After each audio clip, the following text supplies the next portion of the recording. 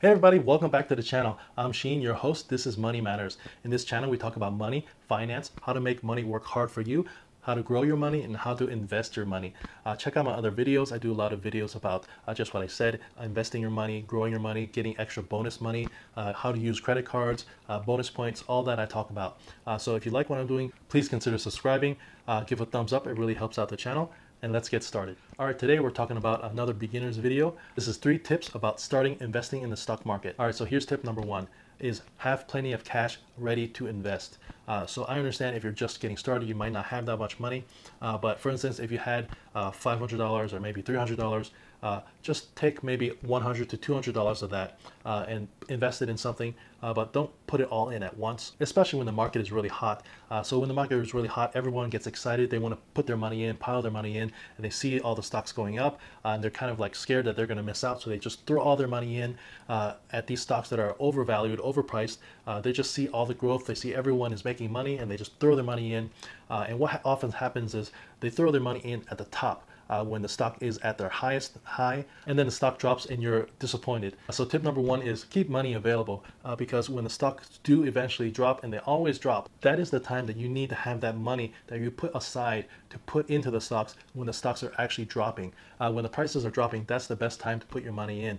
Uh, that way, if it drops even further, it will be a less of a fall than as if you put your money in when it's all the way at the top. So let's say you put your money into a stock, uh, it was at $20, uh, that's the high point. So you thought this stock might go to $25, $30, you put it in at $20 at the highest point, uh, and then something happens and it crashes. It goes down to 18, 17, 15.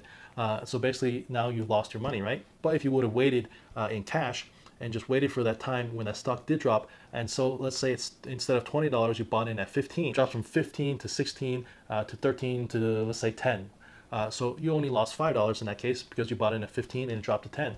Uh, but if you bought in at 20 and obviously it dropped to 10, you would have lost $20, right? Uh, and so that's kind of like trying to time the market. Uh, so there's no way to exactly time the market. Uh, nobody can time the market. Things happen all the time.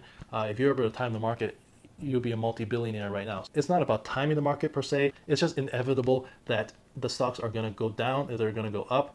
so just wait until the stocks do take a dip.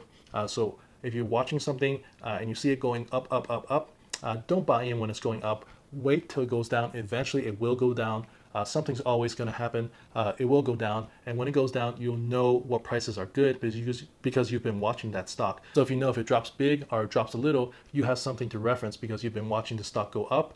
Uh, and so if it does drop, kind of have a gauge of what a good price is to buy in at. And that ties into that extra cash that you have laying around. Uh, always have extra cash laying around for those dips, for the market to drop. Uh, that is when you need to deploy your money. Uh, you don't want to deploy all your money when the market is hot because when the market does go on sale, uh, like what's happening currently, uh, sale prices, everything is so much cheaper and you already deployed all your money and now you have no money to deploy and buy things that are so much cheaper. Uh, so always keep some money uh, on the side, invest when the market is low. Tip number two, uh, for a beginner, definitely I should state the high quality stocks, uh, basically brand name stocks, uh, because I mean those companies are uh, more likely to survive a recession, more likely to survive any situation. they have usually have more cash available. they have brand names. if they do get into a pinch, they're more likely to be able to get loans from big banks to hold them off in a bad situation. so if you buy, you know, some $200,000 company stock, might go bankrupt and uh, you'll never hear from them again. Uh, but if you buy, you know, big quality stocks, uh, brand names, like names that you see every day, those companies tend to be able to survive uh, any recession or downturn. So Apple, for instance, you know, uh, they have plenty of money in the bank. Uh, if there's a recession, you know, they're not going to go out of business. so they're able to weather a storm better. another company like, you know, Google, maybe Facebook, uh, all these big companies, they're going to be able to weather a storm much better than uh, these no-name uh, companies that may be able to grow 10 times, 20 times, uh, but they also have a high likelihood of going out of business. Okay, so the third tip, uh, number three, uh, I've fallen victim to this. Pace your buys. so meaning you don't want to put all your money in at one time. Uh, so for instance, like if you're watching that stock, uh, it was at $20 and all of a sudden it dropped to $15. You say, oh man, uh, this stock, I've been watching it for three months and it never dropped to $15.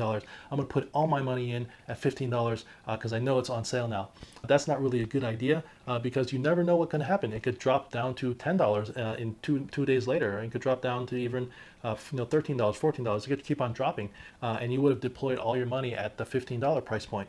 Uh, so if you deploy your money in steady paces, uh, so you put in some money uh, when it dropped at 15, uh, wait a few weeks, it keeps on dropping to 13, just by a little bit at 13, it keeps on dropping by a little bit at 12, by a little bit at 10, uh, just ride that wave down. So that's kind of called dollar cost averaging, uh, but dollar cost averaging your way down. Uh, so you're never going to be able to buy the lowest point. Uh, otherwise, you'll just be a genius and you'll be a multi-billionaire. If you know a stock's price is going to be at $10 and that's their lowest point, then you would obviously just wait till it hits $10 and put all your money at $10. Uh, but nobody knows that. So uh, the, the, only the best way to do it is just a dollar cost average your way down. Uh, so again, so like you just average your way down uh, by a little bit at each step it goes down. Uh, so let's just say, uh, you know, this stock was at $20, it dropped to 15, uh, you bought a little bit more. It dropped again to 13, you bought a little bit more, uh, but then you wanted to buy more, but it didn't drop anymore. Then it went back up to $20. yeah, so big deal. You missed out on buying extra shares, but uh, you also are in the stock at a lower price and you could ride it until it goes all the way up again and then you would have made money on that gain. Uh, so then, you know, the extra money that you had put aside, you just keep it to the side. Uh, you'll have another opportunity if this stock or another stock drops down again, just put it in, uh, dollar cost average it down. If the stock goes down, buy more. If the stock doesn't go down, then just save your money on the side. Uh, let that money ride up to the top. So that's called dollar cost averaging your way down.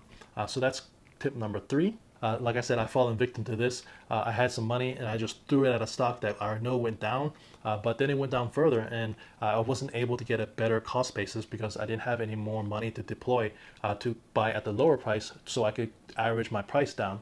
Uh, so I kind of stuck at not the highest price, but also not the lowest price. That's tip number three, and that's my final tip. Uh, guys, if you like my video, please consider subscribing, give a thumbs up. It really helps out the channel. I talk about money, finance, uh, how to make money work for you, how to invest your money, and how to grow your money. Uh, if you're interested in any of my videos, please consider subscribing, and I'll catch you in the next one. Peace.